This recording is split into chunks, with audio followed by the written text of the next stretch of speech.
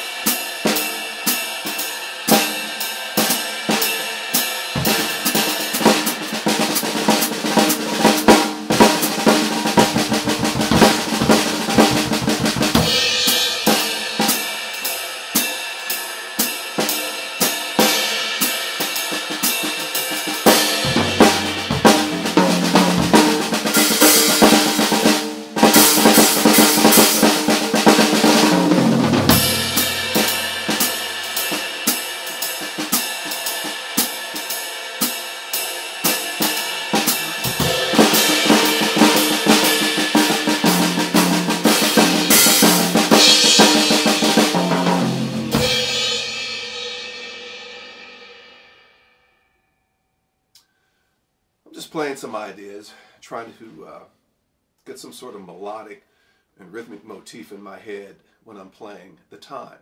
But you see what I mean? You have to keep, now remember in jazz it's swung, so you have that underlying triplet feel. And uh, most of your ideas have to be structured around that triplet kind of concept. Variations of triplets, quarter note triplets, eighth note triplets, sixteenth note triplets, you know, depending on the tempo. Um, so let's take a look at eight bars. And, and you know, you can feel how I'm resolving the end of my four bar phrase or the end of my eight bar phrase coming back to the time. So let's pick up tempo just slightly for the eight bars. One, two, one, two, three, four. Two,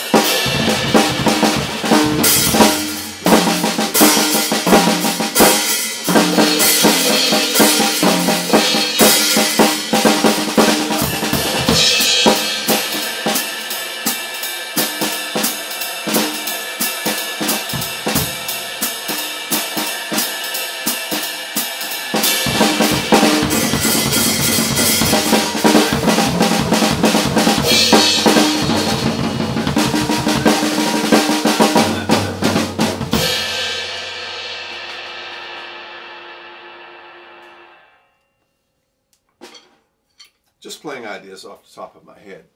But again, keep in mind when you're playing the four or eight bar breaks, somebody else is improvising during that time when you're playing the time for those four bars or eight bars. So again, that dialogue is happening. And, you know, it's so spontaneous, man. And that's, that's the challenge in that concept of trading the fours and trading the eights. You have to keep in time. You want to keep the swing beat happening, right? Your ideas want to be compatible to what's going on around you. You want to be musical with what you're playing and hopefully creative using dynamic variations, again, independence, accent placement, textural variations, all these different things that go into this, man. And it's about being smart you know, but you can't lose the time and you have to to maintain that strong swing beat and you have to know where you are inside the composition.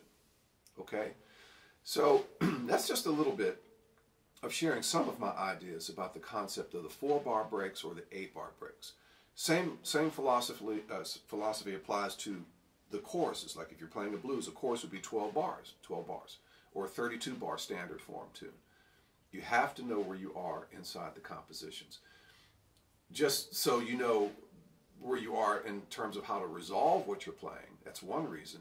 Plus the thematic part of it. You want to know if you're in the bridge or the B section or what which A section you're in. You know, or where are you inside that 12 bar blues?